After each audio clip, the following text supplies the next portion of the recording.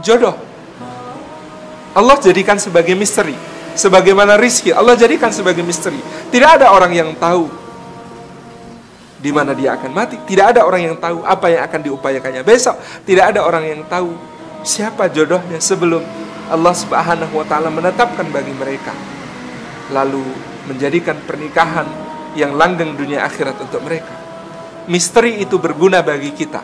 Ketidaktahuan itu bermakna bagi kita, bermanfaat bagi kita supaya kita berprasangka yang paling baik, berdoa meminta yang paling baik, mengikhtiarkan yang paling baik, bertawakal yang paling baik kepada Allah Subhanahu wa taala.